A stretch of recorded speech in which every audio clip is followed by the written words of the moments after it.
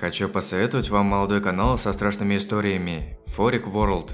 Автор этого молодого канала пишет истории самостоятельно и озвучивает их очень приятным голосом. Атмосфера в роликах подогревается качественными звуковыми эффектами, музыкой и картинками. Рекомендую подписаться на канал Forik World и насладиться авторским контентом.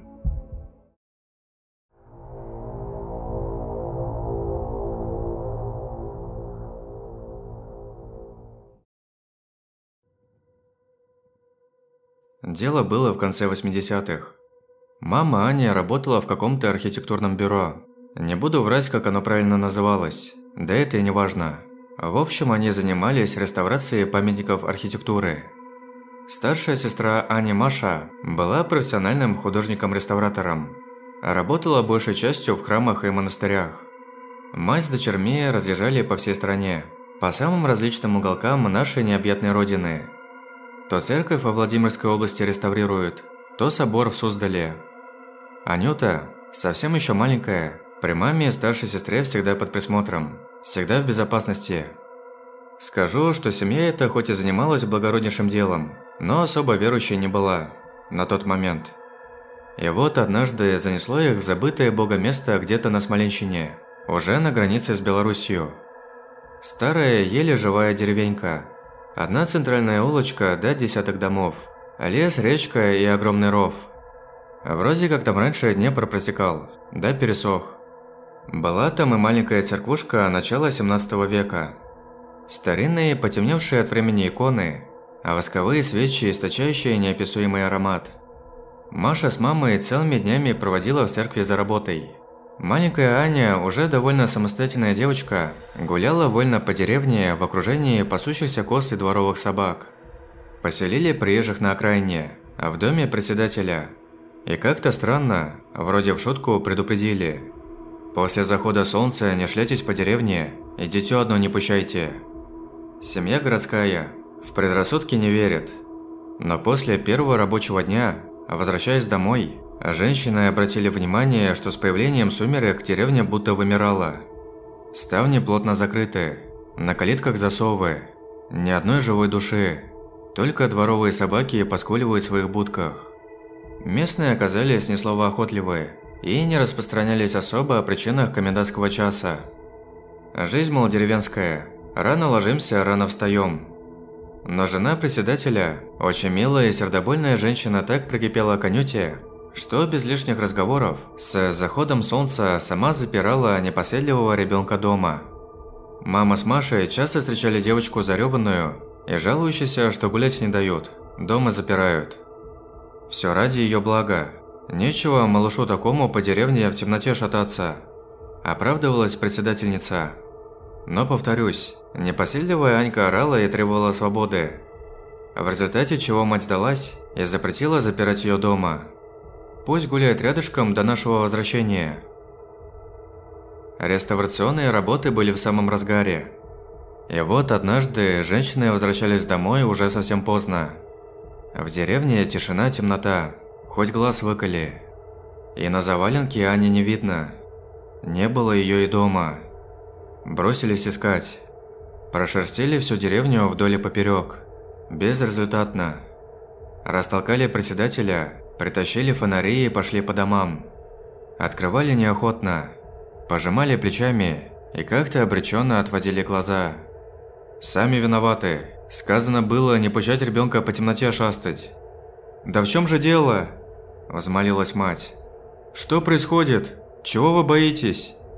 «Ищите во враге». Все, что удалось узнать у местных перепуганным женщинам. Побежали к оврагу. Собралось человек десять. Мужики с вилами, как полагается, и фонарями. Но у края оврага все остановились. Дальше сами. Дитё ваше, дело ваше. Не надо объяснять шоковое состояние матери Анюты. А взрослые деревенские мужики отказались спускаться во враг. Что же там на дне? И что с ребенком, если он там? Мать Анюты вместе со старшей дочерью бросились вниз сквозь бурелом. Почти на ощупь, поскольку в полной темноте.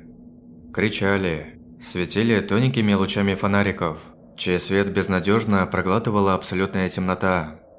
Уже на полпути, Снизу раздалось приглушенное шипение. Будто десяток кошек разом вздыбились и произвели эту страшную какофонию.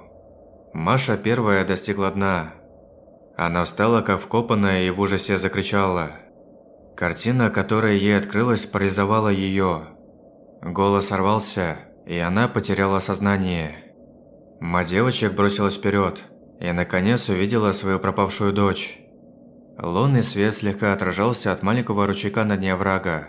Но этого света было достаточно, чтобы осветить две фигуры примерно одного роста. Аня тихо и медленно шла, ведомая за руку низеньким сгорбленным существом с длинными руками и кривыми ногами. Существо опасливо озиралось и шипело. Глаза светились, как у кота, а длинные пальцы на руках заканчивались острыми когтями. А в лунном свете кожа существа отливала голубоватым цветом, с небольшими темными прожилками и пятнами по всему телу. Девочка двигалась, не оказывая видимого сопротивления. Глаза ее были закрыты. С криком мать бросилась к ребенку и, схватив Анюту за руку, потянула на себя. Существо оскалилось, обнажив острые короткие зубы. Зашипела с новой силой, но девочку не отпустила. Завязалась борьба. Мать тянула ребенка на себя, а существо, чья сила явно уступала яростному напору разъяренной матери, пятилось, скользило на глинистом дну и цепко держало несчастного ребенка. Сверкая глазами и клацая челюстями, существо перешло на рык и схватило Анюту уже двумя лапами. Наконец мать увидела, куда именно существо тащит свою добычу. На противоположной стороне высохшей реки, в зарослях, виднелась старая кирпичная кладка. В ней темнела нора. Из последних сил мать дернула дочь на себя, и существо наконец оцепилось. Как только девочка оказалась в руках матери, она издала протяжный стон и осела на землю. Тут подоспела пришедшая в себя Маша. Они с матерью схватили ребенка и бросились вверх прочь из оврага. Существо внизу продолжало шипеть и скулить. Оно то подбегало ближе, то боязливо отступало. Мать громко звала на помощь. И, видимо, эти крики и близость людей отпугивали твари. В конце концов, еще немного покрутившись на дне, оно скрылось в зарослях у кирпичной кладки. Наверху женщины обессиленного ребенка приняли местные. В полной тишине они проводили мать с дочерьми к дому председателя и как ни в чем не бывало разбрались по домам. В освещенной комнате Анюта наконец пришла в себя. Она тихонько слипывала и жаловалась на дурной сон. Рука девочки, та самая, за которую держалось существо, была вся в крови. Глубокие порезы воспалились и жутко болели. Всю ночь Аня провела в бреду. Раны промыли и перевязали. Только на заре она заснула. Жена председателя потихоньку от мужа рассказала, что раньше частенько по ночам из деревни пропадали животные. Их обглоданные трупы находили на дне врага. А когда пропал малолетний сын местного пинчушки, все сговорились и с заходом солнца стали запирать двери и окна домов до рассвета. Мальчика так и не нашли. По большей части его и не искали. Деревенские наотрез отказывались спускаться во враг – а убитый горем отец просидел всю ночь на краю, так и не решившись идти один.